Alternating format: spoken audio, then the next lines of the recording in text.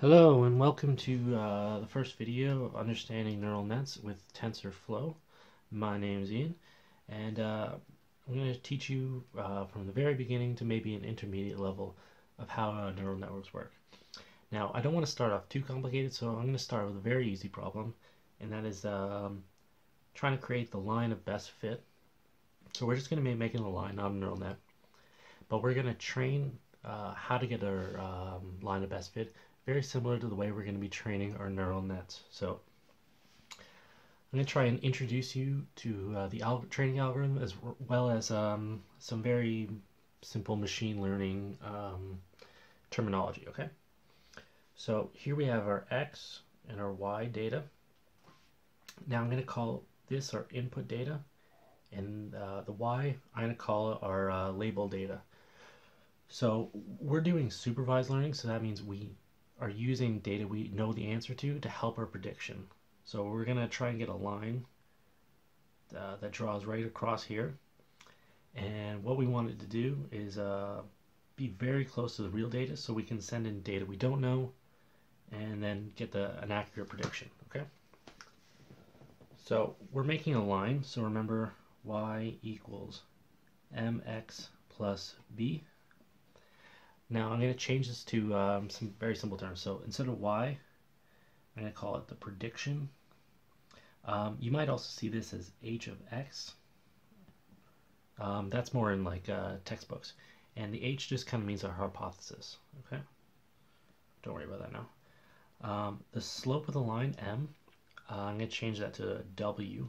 And that's going to be our weight. And that's a, we're going to see that a lot later on. Our input data, I'm just going to keep it as an X because running out of room. And our B is going to be our bias. So this is a y-intercept in a line, but that's going to be our bias there. So there are four steps to training uh, an algorithm.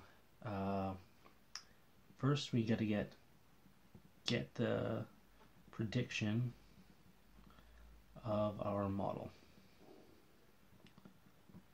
Okay, so let's make a, a model. Now, we don't know uh, the best value for our weight right now. So what we're going to do is stochastically initialize it. Stochastically is like a statistics term for random. So we're just going to get a random number, roll a dice 1 to 6, and then initialize our, our prediction model's weight with that number. So uh, let's pick 3. So our weight is going to equal 3. And uh, for now, uh, I'm not going to worry about the bias right now because it's just a little easier. So, so we got to get our prediction of the model. So let's draw our line. So it's our slope's 3. So it's going to look maybe something like that. Okay, and then we got to get our, our prediction. So we send in our input data, and then we get our prediction out. So we send in 0 to, um, uh, let's go, prediction equals 3x. So we send in our x and then we get our prediction out. So we send 3x, it's 0, we get 0 out. We get we send in 1, we get 3, 2 we get 6, and then 3.1, I don't know, 3.9.3 I don't know. So that's how we get our prediction of the model. Okay, step 2 in our training algorithm calculate our loss. Now, how are we going to get our loss? Well, we have uh, our predictions. We know the right answer with our label data. And what we're going to do is something called mean squared error. So that is um, h of x minus y squared. So that's a squared error. Oh, no, I'm using prediction. Okay, prediction is just going to be p. So we we're just squaring it to get rid of negative numbers. Don't worry about that. So uh, we can even do absolute error. There's mean absolute error. Uh, you'll see that in more computers. But so we have our prediction. We have our label data, and then we square it. We add them all up and then divide them by the number of um, you know data we have. So we'll take our, our errors uh, square them, and then divide by 4, I guess. And that's uh, our mean squared error, okay? So I'm going to calculate that. Okay, so let's get working on the loss. So we get our prediction when we send in uh, our input data into our, our function. So we get uh, 0 times 3. That's going to give us 0. We're going to subtract it by our label, which is 0. And then we're going to square it. And that is going to equal 0.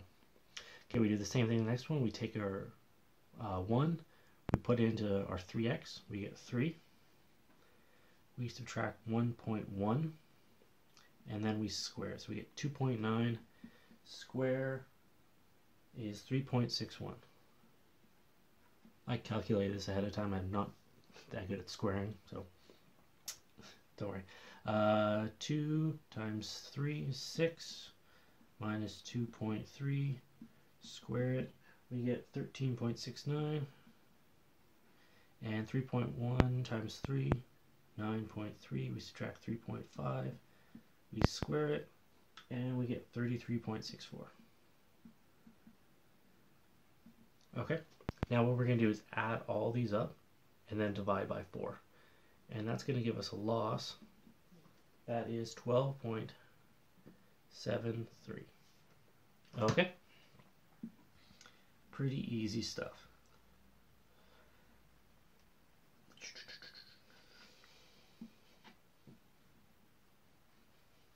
Okay, so that leads us to step three of our training algorithm.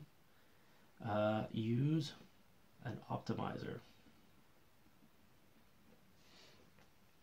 Okay, so how do we do that?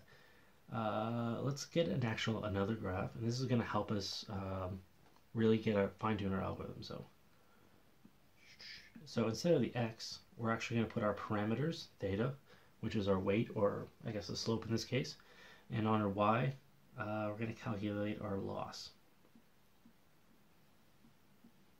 So uh, let's plot this. We get, uh, when our parameter is 3, we get a loss of 12.73, I think we said.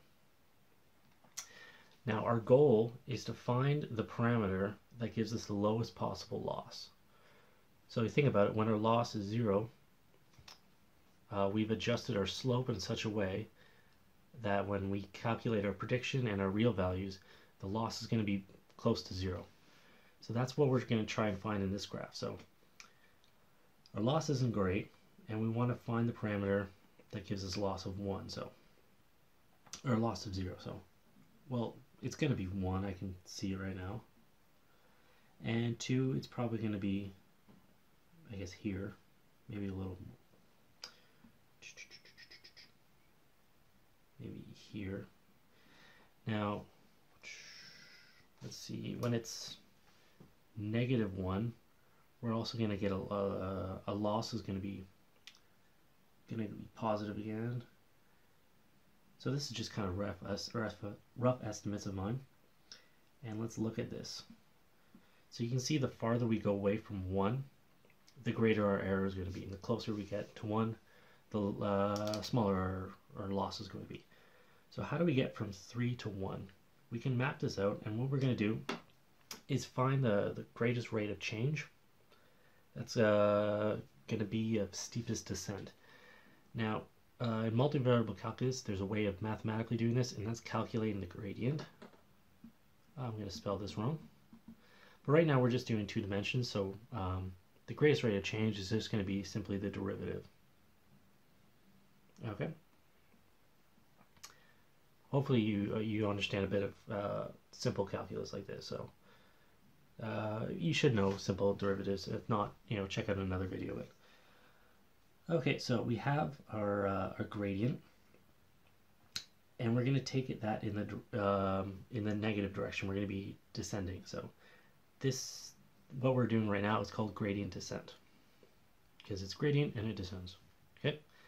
Now, the, the amount of change we do in the x direction is going to be determined by our step size as well as the slope of this gradient. Now our step size, I'm going to give it a term, uh, let's it here, the learning rate. This is the rate at which we learn. right? That's probably where it gets the name. So what we're going to do is take the slope of this, multiply by our learning rate, and shift our parameter in that direction, in the x direction. So when we do that, we're going to end up maybe here. And that leads us to step four, update update, that says update, sorry about my handwriting, update our parameters. And that is basically our algorithm. So what we do is we'll, we'll maybe we'll land on two, and then we'll go right back to step number one, which is get a prediction of the model. So maybe we'll do a line to be like this or something like that. We calculate our loss, so we change this to a 2 should erase that. So our prediction model is going to now going to be 2x. We calculate our loss. We use our optimizer, our gradient descent, to shift in, a, in the direction that's going to give us closer to 0. And then we're going to update it again. So then maybe we're here, we're going to update it, and we're going to land on 1. We update our parameters. So this is going to be 1x. And when we plug that in, it's going to give us a line that's pretty close to that, and the loss is going to be zero. So what we basically do is repeat these four steps over and over again, adjusting our parameters in a way that's going to give us um, the loss that's the lowest. And that is basically how you train um, a, a neural net. Now, neural nets are going to be a little more complicated. Right now, we're only working with one parameter. Uh, you can even have hundreds of thousands of parameters, so it's, it's going to scale up. But the, the logic of this kind of continues throughout. And uh, a lot of the math kind of scales up as well. So um, uh, that's all I'm going to do for this video. Uh, thanks for watching. Uh, like, like, subscribe, leave a comment, promote it on uh, YouTube algorithm. And other than that, uh, have a great day.